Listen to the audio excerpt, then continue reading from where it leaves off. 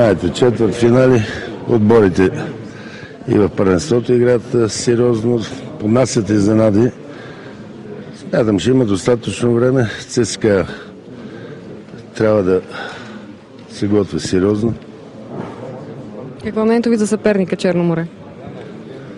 Ами, Черноморе, знаете, трудни мачове с тях, но преодолим.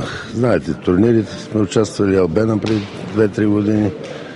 И във Варна сме ги побеждали. Те също успешни матчове. Последния път направих успешен матч на армията.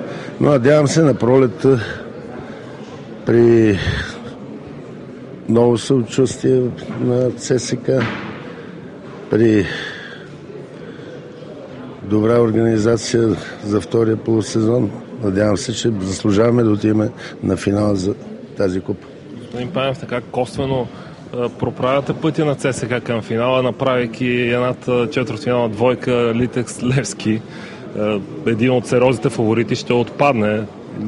Литекс го искаха. Едно домакинство добре ще бъде за Литекс с Левски. Знаете, тези матчове не се знаят предварително. Знаете, обстановката, подготовка, основни футболисти дали ще бъдат всичките на лице. Тези матчове са с интереси, затова най-интересният матч този ще бъде. Но пък за сметка на това, при една победа на Литекс на нас отваря път за към финал.